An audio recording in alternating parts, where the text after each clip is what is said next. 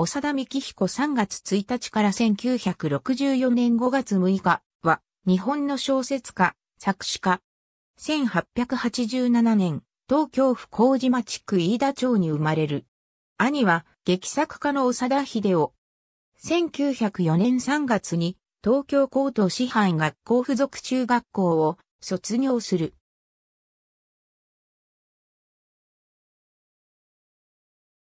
中学時代から兄、秀夫の影響で新使者の明星に参加するが、後に脱退して1909年頃からスバルに同人として参加、試作を投稿した。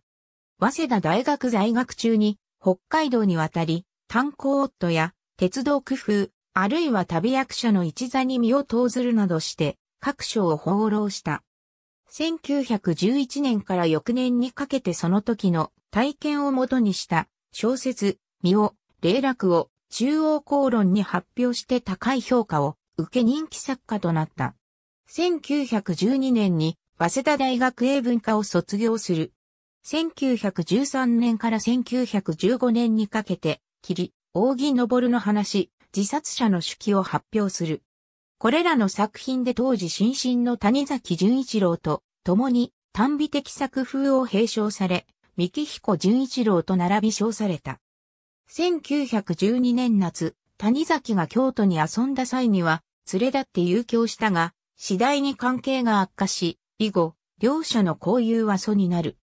祇園滞在時の知見をもとに、そこの情緒や舞妓たちの宿命を、祇園、鴨川城は、祇園城話として発表する。これらの下流の巷を舞台とする、祇園物でも、城話作家として人気を博し、吉井勇と並称されたが、1916年、赤木公平から優等文学として攻撃された。以降も約300の長編と約600の短編にわたる多量の作品を書いたが、次第に分断の最前線からは遠ざかった。長田の作品は全集としても刊行された。1925年にラジオ放送が開始されると、ラジオドラマの創造を補佐するため、幼い薫や久保田万太郎などと伴いに、ラジオドラマ研究会を東京放送局内に設置した。長田はその中心となり、脚本の検証公募、声優の育成に努めるとともに、自身でも専用の脚本を文芸顧問として執筆した。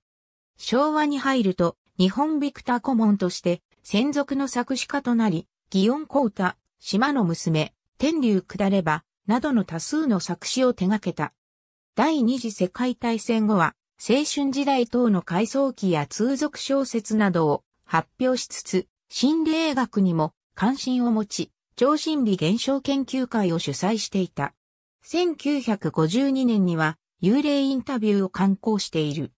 また、安倍貞と組、昭和一大女という安倍貞事件を演じる劇団を旗揚げしたこともある。